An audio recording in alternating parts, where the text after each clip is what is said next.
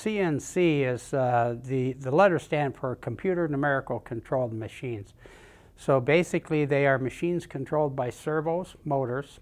They replace all the manual handles and levers that are on machines. They're surrounded by a shroud so they're safer, they're faster, and they machine parts uh, in much more repeatable ways to within a tenth of a thousandth of accuracy.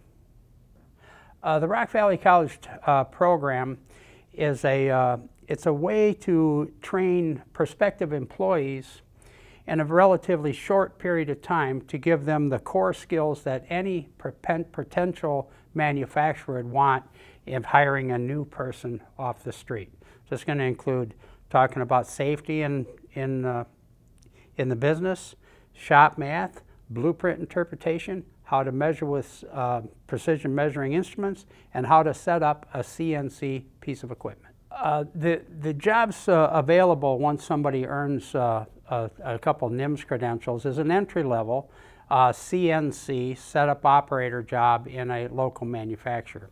The beautiful thing about manufacturing is this gets a person a job, an entry level job. And from there, the sky's the limit.